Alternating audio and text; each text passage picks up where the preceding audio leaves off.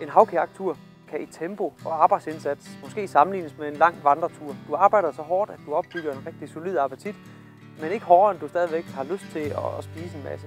Så derfor kigger vi nærmere på, det, på din turmad i det her kajakenergi-tema.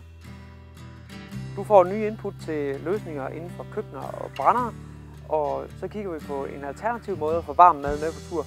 Til sidst så får du nogle hurtige tips til, hvordan du kan sætte ekstra krydderi på din turmad. Så hvis du har lyst til at få ny inspiration til maden, du er med på din øh, havkajaktur, så kig med her.